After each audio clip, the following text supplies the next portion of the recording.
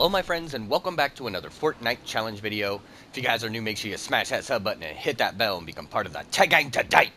Okay guys, the challenge that we're going over in this video is to dance in front of a bat statue, an above ground pool, and a chair for giants.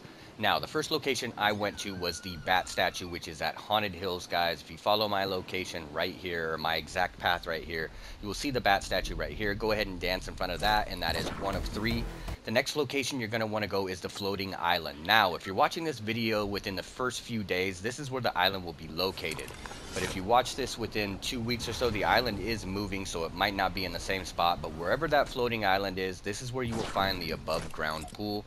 Go ahead and dance there, and that's two or three.